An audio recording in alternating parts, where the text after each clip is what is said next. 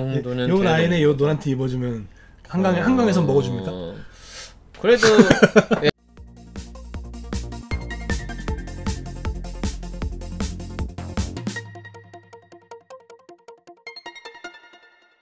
네 안녕하세요. 1인 지식기업가 양지호입니다. 오늘 자전거 관련된 사항 2부 시작해보도록 하겠습니다. 오늘 역시 초대 손님 스포슈머님 예, 어니 아버지 예, 오시고 이야기 해보겠습니다. 오늘 자전거 예, 사고에 관련된 이야기 해보도록 하겠습니다. 그 아까 1부 때도 느꼈고 2부 때도 느꼈지만 이거. 아 이거 좀 예, 대단합니다. 예. 이거 뭔가 할 말이 있을 것 같아요 이 옷에 대해서. 예, 르코크 스- 스포르티브에 대해서.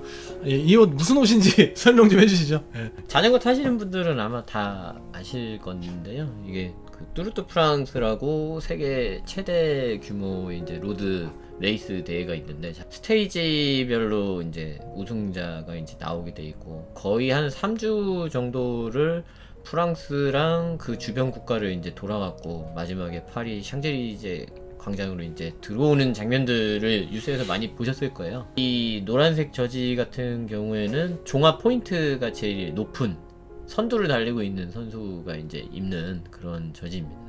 유튜브 출연을 기념한 것 플러스 제가 뚜르트 프랑스에 나갈 수 있는 확률이 전혀 없고 거기서 우승할 수 있는 확률도 전혀 없기 때문에 그냥 예. 흔히 말하는 자덕 심해서 아, 네. 구입하여서 네. 입은 네, 그런 아, 네. 자전거 저지입니다. 아, 네. 자덕. 이 자덕으로 이제 하려면 이런 라인이 있어야 되거든요. 이 라인 아, 잘 아, 이거? 이거. 네. 탄 거. 네. 탄팔. 네. 저게 자덕의 어떤 상징 같은 거군요. 네, 이 정도는 요 라인에 요. 노란 티 입어주면 한강에, 한강에서 먹어줍니까? 어, 그래도 예. 어, 아는 사람은 또. 그리고 사고 확률도 많이 줄었습니다. 아, 이 네. 노란, 노란색 옷이. 네, 잘 보이니까. 아, 예. 병아리 같고. 네, 좋네요. 그래서 보통 그 자전거 타시는 분들 보면 진짜 막 되게 형광색 화려한 막 그런 무늬 있는 거, 뭐 이런 거 네. 입으시는 분도 많이 봤어요. 제가 봐도 주간이나 이럴 때 또 형광 스티커 같은 거 붙이고 계시면 사실상 자동차 운전하는 사람 입장에서는 굉장히 도움은 되죠. 확실히. 네. 뭐 환경위험 분들이 입는 거랑 거의 비슷한 색상도 이제 많이 입는 이유가 뭐 남들이 어떻게 보느냐가 중요한 게 아니고 남의 눈에 잘 보여서 사실 차에 안 치면 됩니다. 네. 음. 그런 것 때문에 더 그런 형광색이라든가 눈에 확 띄는 색깔들을 좀 선호하시는 라이더 분들도 있습니다. 음, 사고 관련된 얘기 지금 이제 하고 있는데 일반적인 얘기들은 뭐 다른 유튜브에서도 많이 보실 수 있고 뉴스에서도 많이 보실 수가 있는데 실제 자전거를 타시는 라이더의 입장에서 가장 큰 문제 자전거 사고에 관련돼서 제일 큰 문제라면 뭐가 있다고 생각하십니까? 이거 녹화하기 전에 양 박사님이랑 밖에서 점심을 먹고 왔는데 엄마랑 같이 자전거를 아. 타고 가는 초등학생을 저희가 봤어요. 네. 근데 엄마가 가는 대로 따라가는 건데 헬멧도 쓰지 않고 음. 횡단보도 같은 경우에도 안전하게 건너려면 원래 자전거에서 내려서 자전거를 끌고 천천히 보행을 하는 게 음. 맞는데 그냥 좀 가로질러서 이렇게 음. 가더라고요. 음, 그래서 그런 어린 아이들이 지금 상당히 사각지대에 있다라고 생각이 됩니다. 그러니까 음. 운전면허 취득이 안 되고 음, 그다음에 미성년인데 음. 일부에서 이제 양 박사님이 설명을 하셨지만 음. 사고가 나면 무조건 가해자가 되거든요. 차니까. 자전거 예 음. 자전거를 타고 있는 초등학생이라 하더라도 이 친구는 가해자고 미성년 라이더들이 음. 제일 지금 사각지대에 있지 않나 음. 생각이 됩니다. 아까 얘기해서 잠깐 말씀하신 게 무슨 얘기냐면 횡단보도를 건널 때 자전거 운전자는 자전거 운전자라고 표현하죠. 음, 자전거 차기 때문에 운전자로 해야 됩니다. 자전거 운전자는 그 자전거를 내려서 두 발이 땅에 닿은 상태로 혹은 좌우측에 자전거를 끌고 걸어가게 되도록 되어 있습니다. 그 상태를 유지 하면 보행자로 인정받지만 탑승한 상태, 즉 두 발 중에 한 발이 페달 위에 올라가 있거나 두 발이 다 올라가 있거나 이 엉덩이가 좌석에 착석되어 있는 그 상태면 탑승 상태로 보거든요. 그 탑승 상태로 횡단보도를 보행하다가 차와 충격하거나 보행자와 충격을 하게 되면 차대차 사고 혹은 차대 사람 사고로 인정을 받게 돼요. 즉 차 탑승 상태면 차가 되고 하차 상태면 보행자가 된다는 뜻이죠. 근데 아까 보- 보셨듯이 엄마가 먼저 하는 것도 아니야. 엄마가 애를 먼저 보내요. 탑승한 상태로 애를 보내. 그럼 엄마가 그 뒤를 따라가고 있어. 이게 아는 사람 입장에서 보면 진짜 한심하죠. 예, 한심하고 되게 저 저처럼 위험해 보이는 일이 없는데 왜냐면 아기가 먼저 그렇게 간다는 거는 우회전 차량이나 이런 거에 되게 무방비로 노출되기 때문에 그런 부분들이 좀 위험한데 그 차라리 좀 왼쪽으로 이렇게 가든지 차가 오면서 좀 시간이라도 좀 주게 그냥 뭐 하는 겁니다. 그래서 네, 그런 부분들 예, 좀 느꼈었고요. 그러니까 즉, 지금 말씀하셨던 부분이 사각지대 부분, 카바가 안 되는 부분이라는 거거든요. 뭐냐면 차인데 운전면허증을 취득하지 않은 상태에서 차들이 다니는 곳에 같이 섞인다는 거거든요. 그런 부분. 그래서 운전면허증이 없는 사람이 가해자로 잡혔을 경우에 도로교통법에 적용을 받아야 되는데 보험에 처리를 해야 되는데 자동차 보험에서는 카바가 되지 않기 때문에 보험 들 수도 없으니까 면허도 없고. 그렇다고 무면허로 가해자 처리를 하자니 원래 면허를 딸 수 없는데 무면허를 하라 그러면 어떡하냐? 이렇게 되는 거죠. 그래서 이걸 커버하기 위해서 자전거 부분도 또 이 보험이 있죠. 사실 나와는 있죠. 나와는 있는데 아까도 뭐 1부에서 또 이명박 대통령 잠깐 얘기가 나왔었지만 활성화를 이제 시키겠다고 정부에서 하면서 보험회사들에서 자전거 커버가 되는 보험 상품들을 출시를 했었습니다. 하지만 뭐 TV 보험 광고 보시면 알겠지만 예외사항들이 원래 많이 있잖아요. 자전거도 저희가 생각하는 것보다는 extreme한 활동에 스포츠에 들어가기 때문에 원래 적용이 안 되는 건데 이명박 대통령이 물러나고 나서 그런 보험 상품들이 다 거의 다 없어졌죠. 이제 남아있는 보험들 같은 경우 에는 단체 보험 형태로 돼 있는 각 지방 자치단체에서 만든 보험이라든가 그런 보험들은 남아있긴 하지만 회사에서 실손보험으로 만약에 처리를 해보신 분들은 아실 텐데 큰 기대를 하시면 안 됩니다. 예, 많은 예사항이 정도 있죠. 나오려나 예. 네, 왜냐면 뭐 예사항들이 워낙 많기 때문에 아까 얘기한 대로 어린 자녀들 경우에는 보험에 커버가 안 된다라고 이제 생각을 하셔야 되니까 음. 학교에서 모든 걸 가르쳐 줄 수는 없기 때문에 자 전거를 자녀분이 타면 꼭 네가 자전거를 타면 운전자다 음. 그런 부분에 대해서 자꾸 이야기를 해서 인지를 시키는 수밖에 없을 것 같습니다. 음, 네. 자전거 운전자는 용어 자체도 지금 여러분이 아마 귀에 들으시기에 익숙치가 않을 거예요. 자전거 운전자. 자전거가 차기 때문에 운전자로 표현을 하는데 교통 부분에서는 익숙한 얘기지만 실제 국민 여러분들께서는 사실 그렇진 않거든요. 그렇다면 자전거 사고 피할 수 없는 상황이 됐다. 그럴 때 어떤 신체적인 상해를 최소화할 수 있는 요령이 있을까요? 물론 이제 운동을 잘 하시는 분들은 자전거에서 떨어질 때 예. 예, 어. 낙차를 했을 때 나는 낙법으로 네. 뭐 이렇게 멀쩡히 일어났다라고 말씀을 하시는데 음. 헬멧을 꼭 착용을 하셔야 됩니다. 헬멧. 네, 자전거 아. 헬멧을 꼭 착용을 하셔야 저희 소중한 뇌를 보호할 수가 있습니다. 아니 근데 저는 그 헬멧 뭐 제가 뭐 이렇게 뭐 헤어스타일 좋은 건 아닙니다만 그 굉장히 깝깝하던데 이거 이거 막 쓰고 그러면 머리 막 이렇게 눌려가지고 막 그 땀 나잖아요. 네. 막 땀과 함께 막 떡대고 막 네. 그 우리 또 자전거라는 걸 보면 약간 그 바람에 흩날리는 그 머릿결 그 약간 로망이 있지 않습니까? 네. 시원한 것도 느끼려고 타는 건데 네. 그거 여기 턱선 이렇게 해가지고 땀 쩔어가지고 막 그 벗고 그러면 여기 막 이게, 이게, 이게 별 모양으로 막 이렇게 생기고 네. 그러면 속된 말로 가오 떨어지잖아요. 그러면 그런 것도 약간 좀 있는 것 같은데.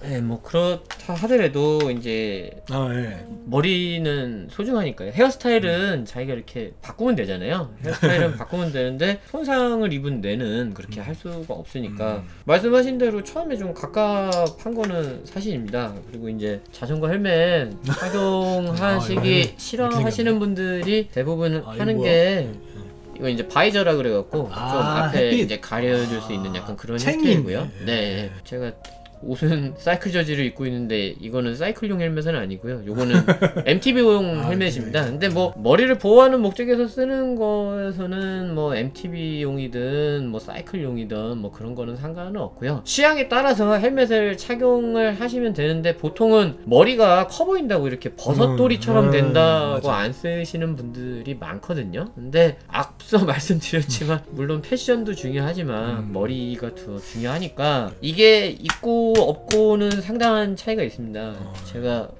앞서서 양 박사님이 제가 인라인 탔던 거 아, 말씀하셨는데 인라인 탈 때도 이런 자전거 헬멧을 썼었거든요. 헬멧을 쓴 상태에서 충격을 받으면 충격을 받은 헬멧을 버리면 되죠.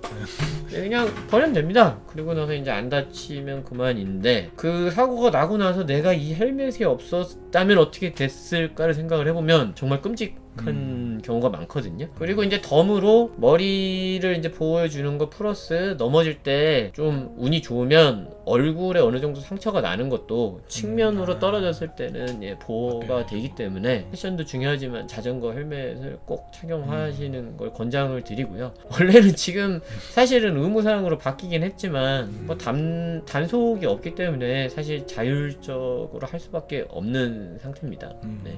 헬멧이 박살나면 내 머리가 저렇게 박살났었겠구나. 네, 이렇게 그렇게 예. 보시면 네. 되고요. 그리고 보통 그렇게 낙차라고 할 정도로 큰 사고가 나면 헬멧이 겉이 멀쩡해 보인다 하더라도 버리셔야 됩니다. 이미 충격을 흡수했기 때문에. 네, 충격을 이미 흡수를 한 부위에 다시 충격이 가해지면 음. 충격 흡수가 안 된다라고 생각을 하고 음. 내가 아깝게 생각하시지 마시고 나는 내 머리는 소중하니까 그 헬멧은 꼭 버리시면 되겠습니다. 헬멧 말고 다른 뭐 안전을 위한 추천 사항 이 있다면 뭐가 있을까요? 양보쌤 그 자동차가 정차를 하게 되면 네. 후미등이 켜지잖아요. 아 후미등이 그렇죠. 예. 네. 자전거도 똑같은 게 있습니다. 아, 이렇게. 아 후미등. 네. 깜빡이도 하나요? 깜빡이? 예, 블링크 어. 기능이 있고 네. 뭐 여러 가지로 잘 보일 수 있게 그렇게 돼 있습니다. 네. 이런 식으로 예, 패턴 변화도 네. 가능하고요. 네. 음, 어, 예. 원래 깜빡이는 게 하면 시인성 차원에서는 네, 훨씬 그렇죠. 좋죠. 그래서 얼마 안 되는 투자로 충전식으로 다 사용하실 수 있게 음. 요즘엔 나오고 있거든요. 얼마예요? 어? 이거? 이런 게? 뭐 그냥 몇만 원대라고 보시면 아. 됩니다. 물론 뭐 동네 다이소에 가도 건전지 넣는 제품도 있긴 있는데 아. 네네. 건전지 넣는 제품보다는 음. 이런 식으로 좀 패턴이 변화가 가능한 음. 제품을 추천을 드리고요. 음. 이 후미등이 있으면 주간의 가시성이 상당히 좋아집니다. 아 주간에도. 네, 아. 주간 후미등이 더 중요합니다. 야간에는 당연히 그래도 사람들이 좀 생각을 하는 음. 편인데 주간에는 운전자가 잘 보지 못하는 경우들이 있거든요. 그렇죠. 그리고 후방에서 나는 사고 예방에 많이 도움이 된다고 보- 보시면 되겠습니다. 한 주먹에 딱 들어올 정도로 작은 크기인데 이제 이게 안전에 있어서는 엄청 도움이 된다. 요즘에 뭐 스마트폰이랑 연동되는 제품들도 많이 어, 나와 그래요? 있고요. 어. 그래서 뭐 비싼 거일수록 당연히 더 좋은데 말씀드린 대로 하나 구비를 해 놓으시면 많이 도움이 됩니다. 여러 개 달아도 되잖아요. 예, 여러 개 뭐 달아도 예, 상관은 음. 없습니다. 여러 개 달면 훨씬 좋겠네. 네. 배터리 얼마나 가요 이거 이렇게 켜면? 뭐 자전거를 선수만큼 뭐 3, 4시간 그렇게 타지 않는다라고 하면 음. 뭐 riding 하실 때 한 번 정도 충전해서 3, 4시간 riding 하실 때 전혀 문제는 없습니다. 그러면 USB로 충전을 하게 돼 있어요. 네, USB로 충전을 하시면 네, 되고 충전도 아주 네. 부담 없이 네. 배터리 없이 네. 할수 있겠네요. 어, 스포슈머 리뷰한 리뷰하는 것 같네. 아, 뭐 저는 사실 뭐 그 자전거 타는 입장이 아니어서 말씀드리고 싶은 거는 초행길 처음 가는 라이더들 분들이 보통의 경우에 대부분 이제 좀 멀리 가신다. 그러면 보통 처음 가시는 경우들이 많아서 그런 초행길을 좀 조심해야겠다는 생각이 가끔 들거든요. 타시는 입장에서는 어떻게 생각하십니까? 네 맞습니다. 그 GPS를 많이 사용을 해서 자전거 속도계 GPS를 보고 가면 초행길이라고 하더라도 수월하게 갈 수 있는 거는 맞는데 그래도 이제 길의 흐름이라는 게 분명히 있거든요. 뭐 약간 딴 얘기일 수도 있지만 F1 경기를 하기 전에 운동신경이 좋은 드라이버들 같은 경우에도 꼭 자기가 주행을 하게 되는 서킷을 피트워크라 그래서 꼭 걸어봅니다. 이거를 실제로 보는 거랑 이제 걸으면서 어떤 체감을 하는 거랑 좀 차이가 있기 때문에 음. 이제 그렇게 하거든요. 피트워크까지 할 필요는 없겠지만 처음 가는 코스라고 하면 GPS 상으로는 이제 나오는 방향이랑 고도와 상관없이 내가 언제 어떻게 움직여야 된다라는 거에 대해서 잘 모르기 때문에 좀 더 주의를 음. 하는 게 맞고 그 제일 좋은 방법은 그 길을 가본 적이 있는 사람이랑 같이 음. 처음에 가보는 게 제일 좋고요. 예, 아무래도 초행 길은 양 박사님 말씀하신 대로 운전이랑 똑같기 때문에 좀 더 주의하는 음. 것이 좋습니다. 그냥 초행길을 갈 때 처음이니까 조심해야지라는 마음가짐이 아, 예, 그게 필요하다 중요하죠. 하는 네, 거죠. 맞습니다. 예. 자전거 블랙박스도 있다고 들었는데 그런 건 사실 좀 번거롭지 않나요? 그런 거 다 설치도 해야 되고 충전도 해야 되고 막 예, 뭐 많이 번거롭기는 한데 자전거가 고가이거나 그다음에 음, 아, 이제 비싼 거. 네이버 이제 카페 자전거로 출퇴근하시는 분들 자- 자출사 자출사? 같은 분들이 네. 사용을 하시는 이유가 음. 그분들은 실제로 자전거를 워낙 많이 교통수단으로 사용을 하시다 보니까 사고가 났을 때 어떤 피해라든가 누가 가해고 누가 피해인지 그런지 좀 가리기 어려운 상황들이 음. 생기다 보니까 블랙박스 장착하시는 분들이 있고요. 실제로 온라인 게시판을 올라가 보면 정말로 글로 봤을 때는 아니면 사진으로만 봤을 때는 애매한 사항들이 음. 있습니다. 그래서 음. 진짜로 뭐 꼭 필요하다라고 하면 블랙박스를 설치를 하는 것도 이제 방법이긴 한데 이거는 사고가 발생 후에 누구의 아. 잘못인지를 가르는 거에 예, 더. 예, 도움이 되는 거기 때문에 사고를 이제 줄이는 측면에서는 앞서 말씀드린 그런 노력들을 더 하는 것이 좋을 것 같습니다. 음. 저 예방이 최선이니까. 네, 맞아요. 맞습니다. 네, 오늘 자전거 사고에 대비하는 그런 방법에 대해서 좀 알아봤고요. 대응하는 요령이라든지 장비라든지 헬멧이나 뭐 후미 등 또 블랙박스 이런 것들도 이제 좀 알아봤습니다. 자전거 사고 많이 줄었으면 좋겠고 저도 이제 사실 블랙박스 같은 거 열어보면은 막그 우리 자란이라 그러죠 자란이. 자란이 뭐냐면 그 자전거 고라니 예. 스포 슈머처럼 막 뛰어나오는 자전거 자란이라 그러는데 굉장히 무섭거든요 진짜. 네, 그럴 때 자란이가 그 불박을 달고 있으면 그나마 좀 사고 책임 비율을 좀 낮출 수도 있는데 그런 게 전혀 없어서 이제 차한테 밀리는 그런 경우들도 있거든요. 고가의 자전거나 고속의 자전거를 타신다면 불박 정도는 달아주시는 게 좋겠고 후미등이나 뭐 이런 헬멧은 뭐 기본이고 장비에 대한 얘기 또 사고 예방하는 방법에 대한 얘기 예, 나눠봤습니다. 세 번째 시간인 3부에서는 드디어 예, 전기 자전거와 전동 킥보드에 대한 얘기를 나눠보도록 하겠습니다. 요즘 아주 첨예한 관심을 끌고 있는데 그거에 대한 필드에서의 전문가의 분의 이야기를 들어보도록 하겠습니다. 오늘 두 번째 시간은 여기까지 하고요. 네, 의민 씨한테 찾길 바라고요. 더 유익한 내용으로 찾아뵙도록 하겠습니다. 감사합니다. 네, 감사합니다.